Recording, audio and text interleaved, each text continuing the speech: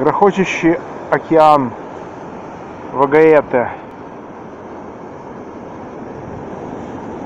Эти прекрасные волны, этот грохот, это мощь, это сила. Это восхитительно. Наступление волн. Это штурм. Это сверкание свинцового моря, океана. Под солнечными лучами этот запах.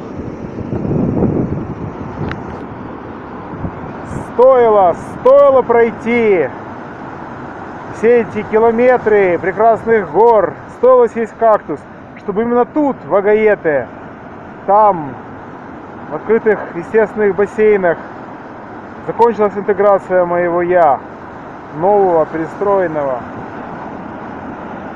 Надеюсь, я изменился. Теперь эти изменения следует закрепить.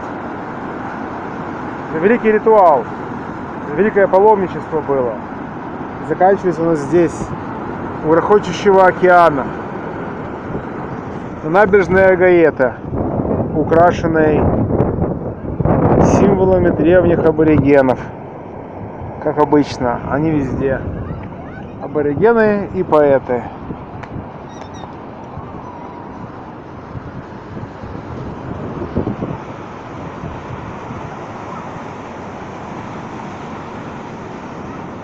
Вот мой рюкзак отдыхает. Сейчас я перекушу и отправлюсь на автобусную остановку.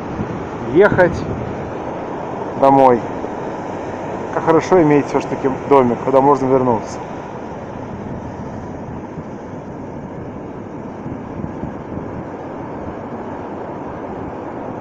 Вальдею. Возможно, океан я уже и не увижу.